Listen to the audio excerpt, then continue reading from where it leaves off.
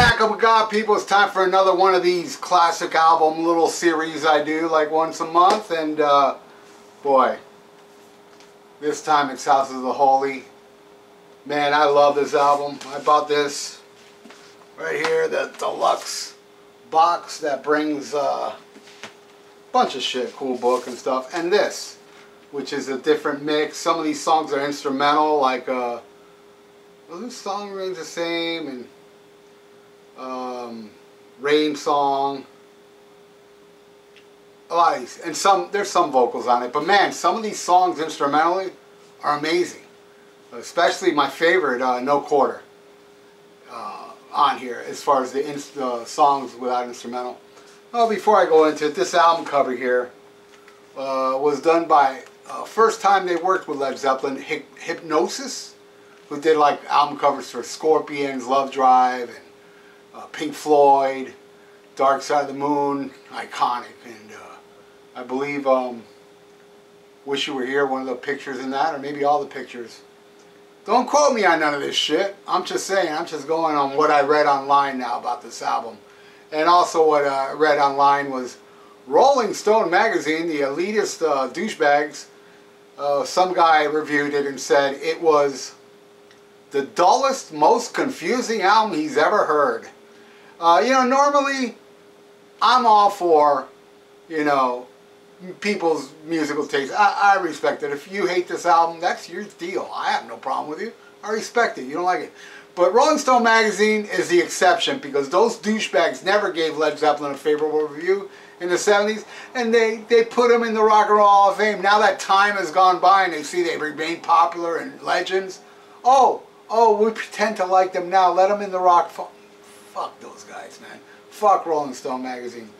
Um, and uh, this is not my favorite. This one's my favorite album from Led Zeppelin, uh, House of uh, Physical Graffiti, but House of the Holy would be like a close second. There's some songs that were recorded on this album that ended up on Physical Graffiti, like uh, The Rover, which is probably my favorite song off Physical Graffiti. I have to think about that.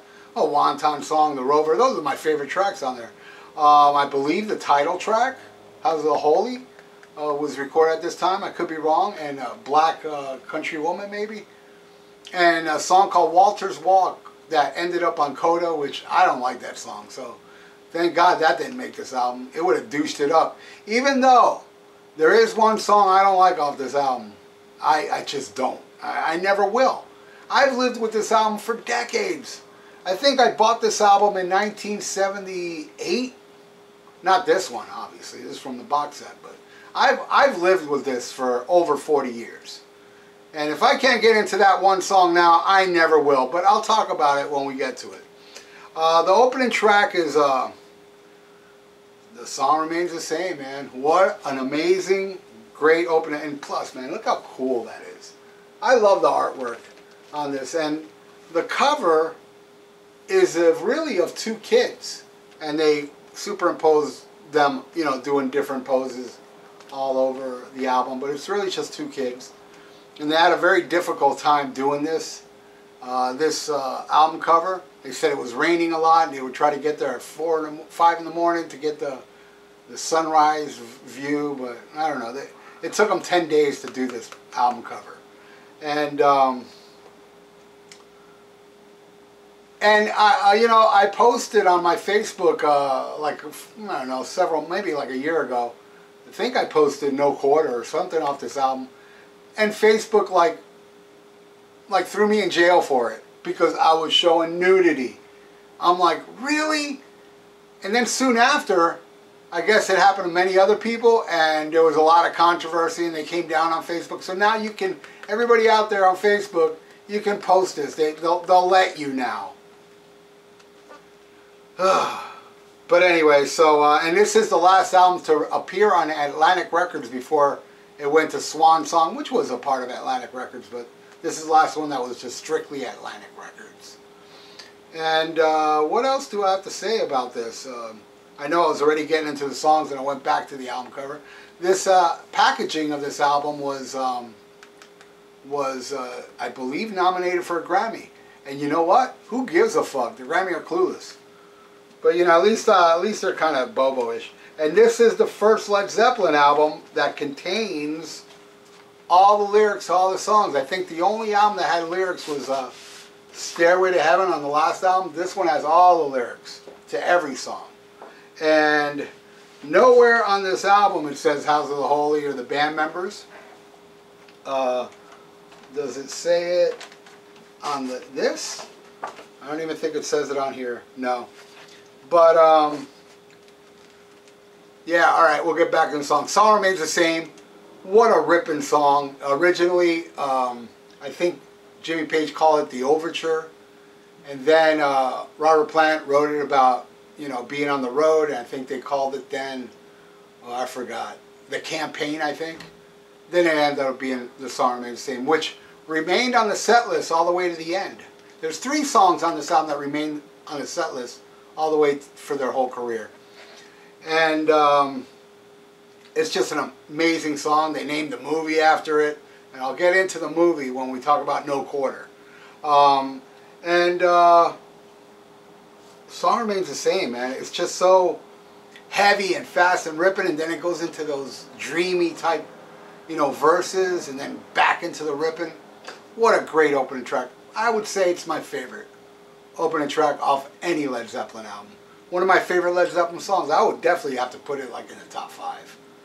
Uh, all right, and then we go into the Rain song. Man, I think the Rain song may be the best song on here.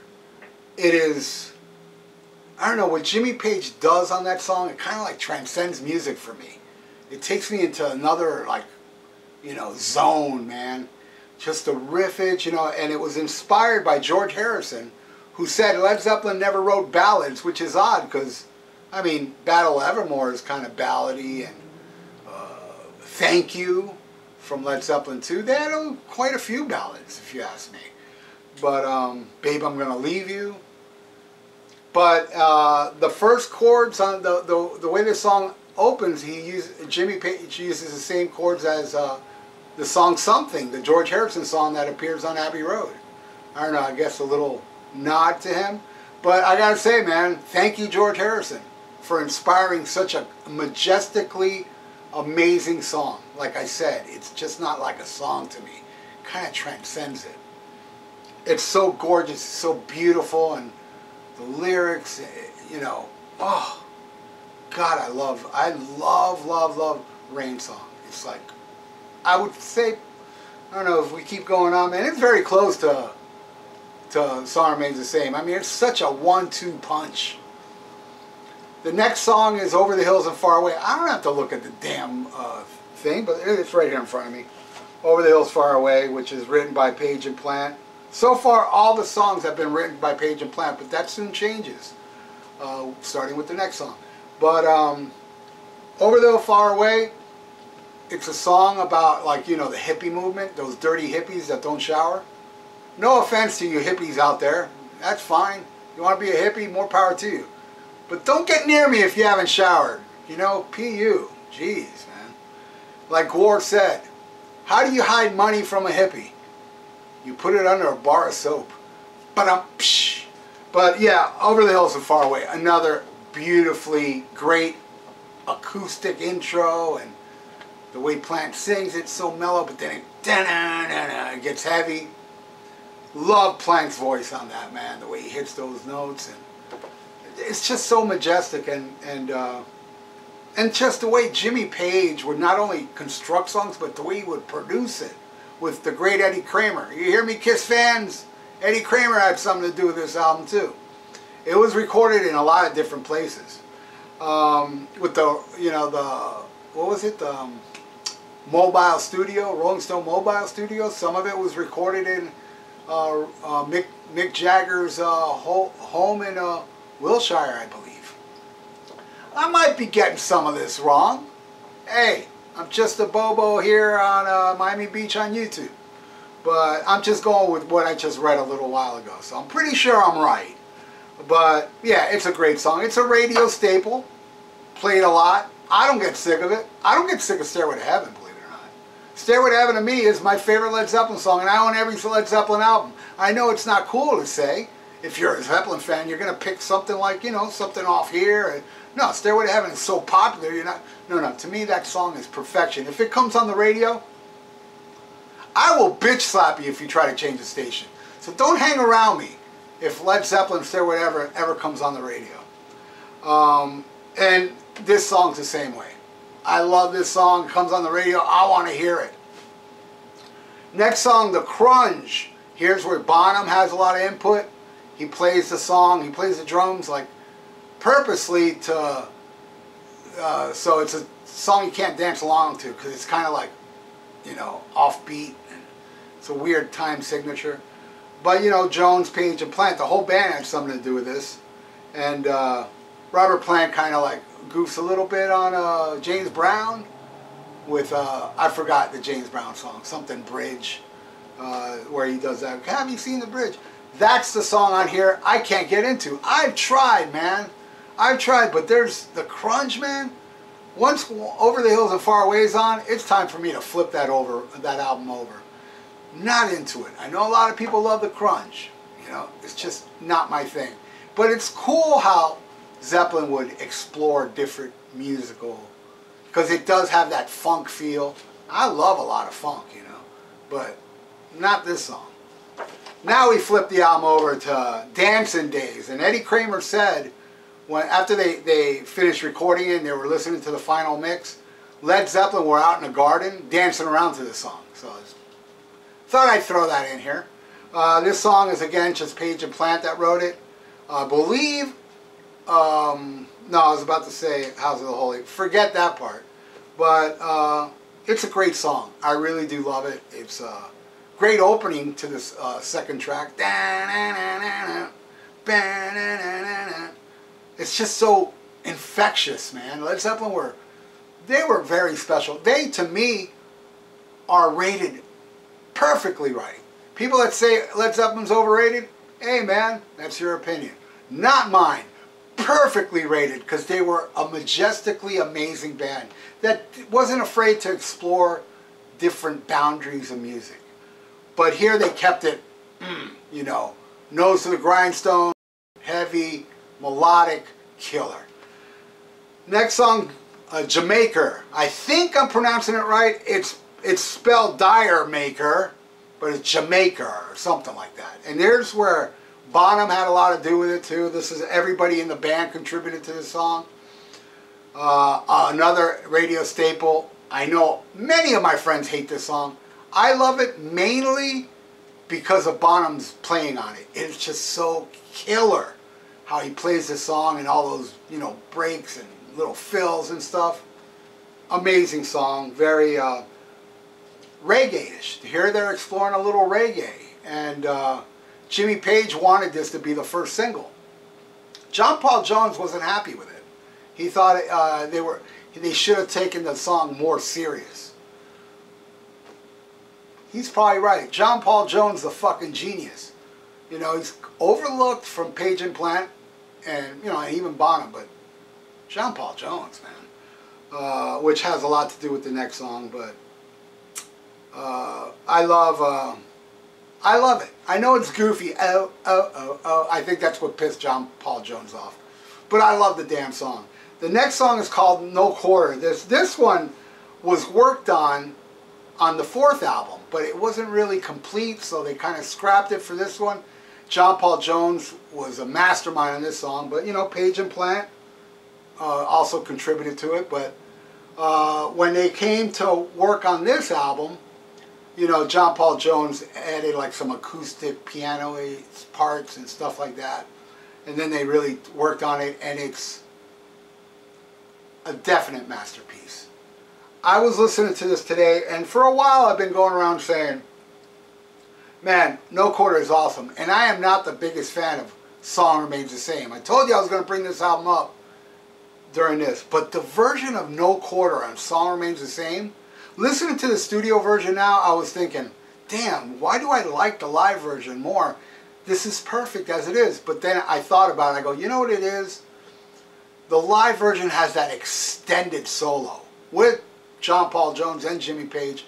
And it's not boring. I, what is it, like 10 minutes long, 8 minutes long? I don't know. It's a long ass version.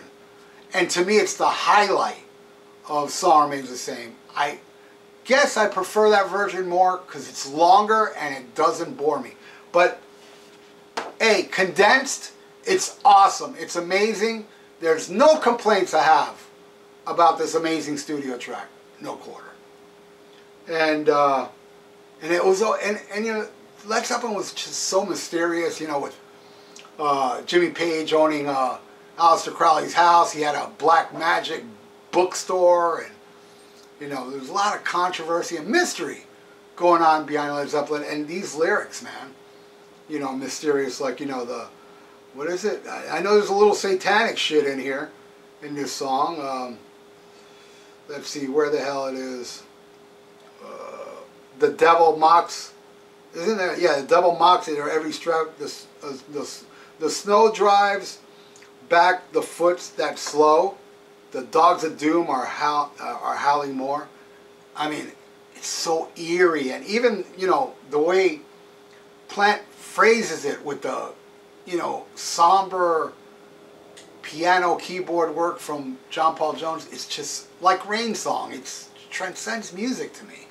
It's just so amazingly awesome.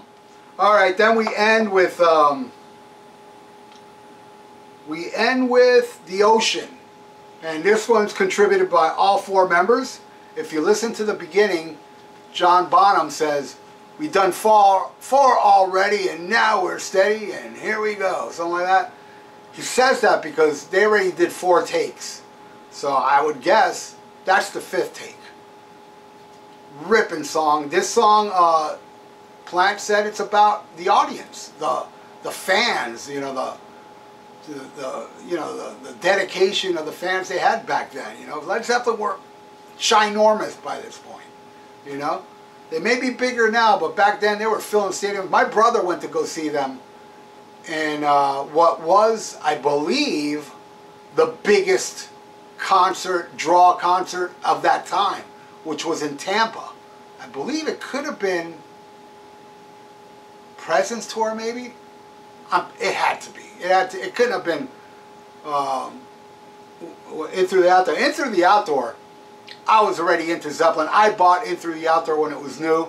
There was rumors of them coming here. Fuck, it wasn't even rumors. They already had tickets, you know, sold in Chicago and places like that. And you know, the, the radio stations down here were building up like Zeppelin will be coming to Florida. And I was like, yeah, I'm finally going to see Zeppelin. And John Bonham passed away. But uh, back to the ocean. I love this song, and I love that little acapella thing in the middle. Na, na, na, na, na, na. And again, Bonham's drumming on this album, on this song and album. Just, man, there was nobody like Bonham, man. I mean, shit, even if you hate Led Zeppelin, you cannot deny the greatness of his drumming. Hey, one of my ex-drummers hated Zeppelin, and he even said it. I don't like Zeppelin, but Bonham was great. You can't deny it. You can't deny it. Anybody that says that Bonham was not a good drummer, honestly, I respect anybody's opinion, but I can't respect an idiot. But that's it. Uh, and right here, I'm looking, man. There's no mention of any, you know, who played drums and bass. There's no mention of that, but it does mention Eddie Kramer uh, and, you know, a host of other people. And uh, Peter Grant and Sleep by Hipgnosis. So they do give some credit here. Oh, no, right here at the end, it does say who plays on what. Durr. And I thought I thought it didn't. And as you see on the album cover, it doesn't say Led Zeppelin or House of the Holy. When they released this album on CD in the 80s, it had a little thing here that said House of the Holy. I don't remember if it said Led Zeppelin or not. But there you go. That's my uh, thing on Houses of the Holy. Phenomenal album. Even though if I don't like the crunge, all those other songs make up for that one song that, you know, just does not sit well with these ears. Thank you for watching, everybody. If you want to donate, I got a PayPal below. And uh, subscribe if you like if you like what you see, and click that little bell for notifications. Till next time, schmack'em Hey, check out my podcast, The Viera Vault, on Spreaker, YouTube, and iTunes. Subscribe. The links are below.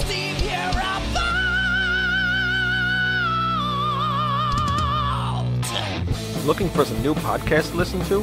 Well, Rat Salad Review Network has plenty of shows to choose from. Like Rat Salad Review, where they discuss the latest rock and metal news, as well as interviews and albums. Album versus Album, the King Diamond Podcast, with Wayne Noon, Greg Noggle, and sometimes this guy. Smack 'em a gob! Ralph Viera is also on our network with the Viera Vault. There's also Old Man Metal's Musings, where he discusses heavy metal and beer. Music is Life with Lou Mavs. The Right Opinion for those who love politics. A South Park podcast called Suck My Balls. The Infinite Fringe. A watch along wrestling show called Beyond Bushido. Ex Stratovarius guitarist, the Timo Tolkki podcast. And the great Harry Barnett with I Don't Even Like Podcasts. So check out ratsaladreview.com or search Rat Salad Review on YouTube, Podbean, iTunes, Spotify, Stitcher, and more.